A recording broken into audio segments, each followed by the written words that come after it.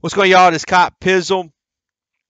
Wanted to make this video and clarify myself about my comments about the Giants drafting Thibodeaux because as you guys know, if you've seen the video, I was a little bit not sure of this of this selection, and I still, you know, you know, days have went by now, and I'm still not unsure about this selection.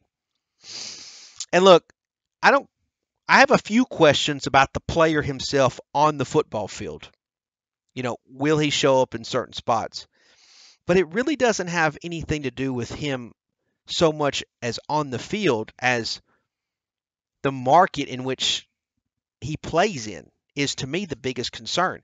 I think Thibodeaux would shine in a small market, you know, like a Carolina, a Tennessee, a Kansas City, uh, um, uh, Jacksonville. I think he would excel in a market like that. But the New York market, the New Jersey area, and New York area, you know, I've always I've been a fan of the Giants as long as I can remember.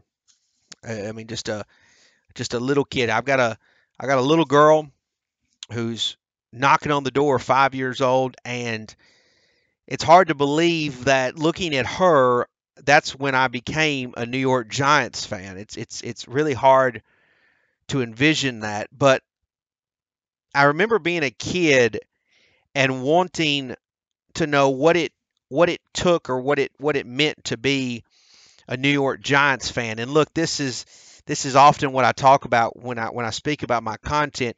You're not going to find this anywhere else. Okay, uh, I understand the masses love the Thibodeaux pick.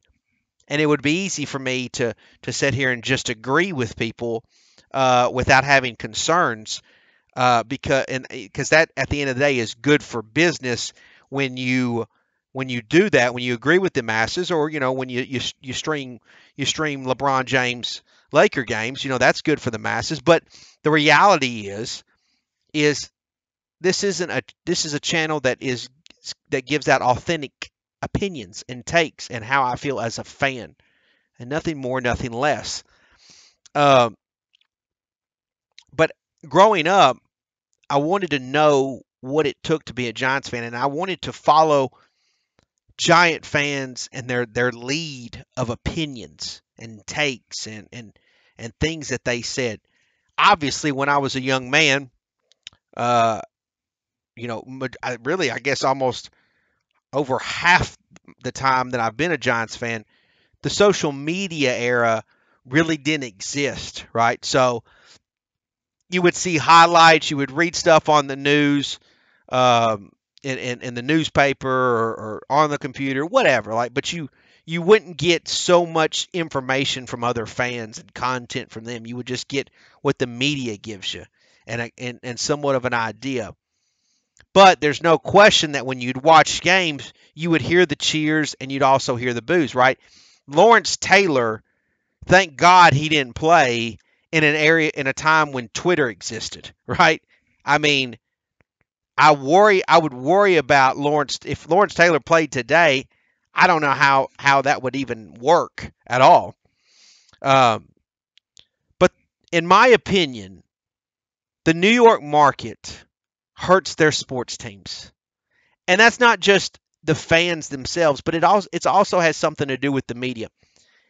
And I know a lot of you guys that watch my channel don't currently live in that market, but you may know what I'm talking about. But those that do, look yourselves in the mirror for for a second.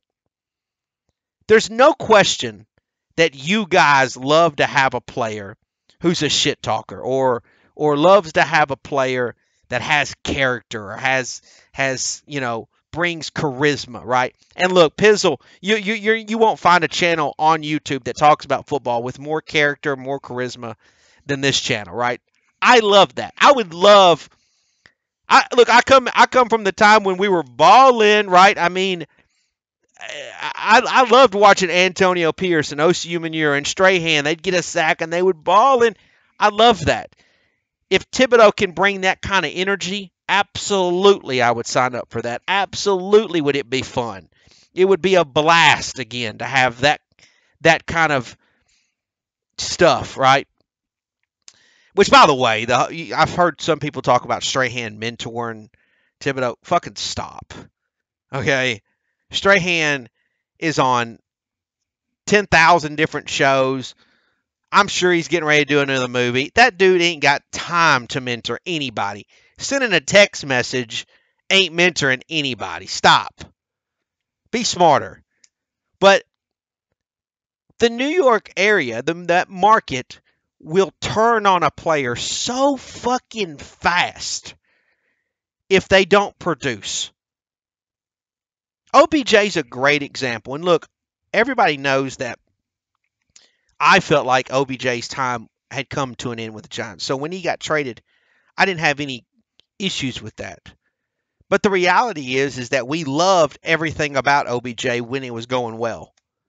But as soon as it didn't go well and the, we weren't winning games, there was a splinter in this fan base where some people went one way and some people went the other way. The New York Giants fan base is absolutely a fan base that has old and young fans. It has a little bit of both.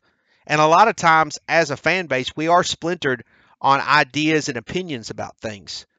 You know, there's other fan bases out there like the Rams and maybe the Seahawks and and and you know the Chargers probably that are very these are young fan bases. There's not a lot of old core fan bases. It's really a young fan base. So their ideas and opinions are probably always similar to one another. But as the Giants fan base, we do have that old uh, a regime of fans that watch the 70s that were, were, were know exactly what happened all throughout the 80s. And then, you know, there's guys like myself who who saw the late 80s, saw all the 90s, saw all the 2000s. We saw Jeremy Shockey, right? Running down the sidelines without his helmet on, and we all loved it. But then when he started dropping the ball, you know, and throwing fits, we all of a sudden turned our back on him. You know, this is an organization or fan base that, you know, they were iffy on Eli Manning for many years and ready to pull the plug. And thank God Eli got the Super Bowl when he did and beat the Patriots because he was on his way out among many people in the fan base. And you've I mean these are these are the same people that have hurt the Yankees and the Knicks and the Mets and all these other sports teams that's that's in the area. That's it's the reality that that it's a market that will blow a player up in a minute, like Jeremy Lin, for example, for the Knicks, who wasn't even really that good, but it's Linsanity. There's always got to be some stupid name with players like Danny Dimes. Like you, it, it's so it's it's just a, it's it's really it's a market that, in my opinion, is too high on a player and always goes too low on a player. And Thibodeaux seems like the kind of guy that's going to take getting booed super fucking personal. You know, or a guy that when you give him some stupid ass nickname, you're going to get him to be too high. I don't know. Can he stay even keel? Like at the end of the day, he's a professional. He's now a professional athlete. He needs to, but I worry about that. I worry about that because the fan base, in my opinion, has hurt so many players and so many teams in the area. I mean, you guys turn your back on Tiki Barber for God's sakes. Tiki Barber is one of the greatest New York Giants players to ever wear a uniform, yet you hate his guts now just because of some things he said about Eli. Thank God he said those things about Eli because I think it lit a fire under Eli's ass. I mean, we even had a, a the, we even had Michael Strahan, right, who's this awesome media personality. He had an issue with the media at one time. I think it was it was that famous clip where he's got the apple, and it's like, I, I mean, even he had issues at one time that were questioned. I, I mean, it's it's it's just this market is a tough market. It really is. And a lot of ways you, you you have to you can't really it's it's it's really tough because you want the player to have some character to him. But you don't want the fan base to get carried away with it.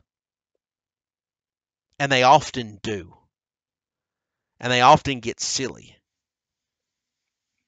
You know, they really they really really do. I mean, Daniel Daniel Jones is a great example, man. Come on. You were you gave him some stupid ass nickname like Danny Dimes and now over half of you guys want him the fuck out of here. That's reality. Why did you give him Danny Dimes' nickname if you didn't know for sure what type of player he was, and now you want him out? It doesn't seem like the 60 minute mindset to me. So, I mean, and, and, and here's the thing, too, is these guys, these athletes, they're no different than you or I. And I know that's hard to understand. Like we view them as superheroes and these super, and they're, they're no question they're super athletes, right? They're just they're different, but they're also just people like you and I. You know, they have families, they have moms and dads and brothers and sisters, and they read all that shit. They they they hear all that, and they they they can get on Twitter just like you can. They can get on YouTube and watch a YouTube video just like you can. I mean, they can do all those things. And the reality is is nobody thinks that their feelings can't get hurt as well. They, I mean, and and I understand they're making a ton of money and this and that, but the fan base for the Giants is the biggest concern to me when it comes to Thibodeaux. And I just hope that he's able to keep himself in check.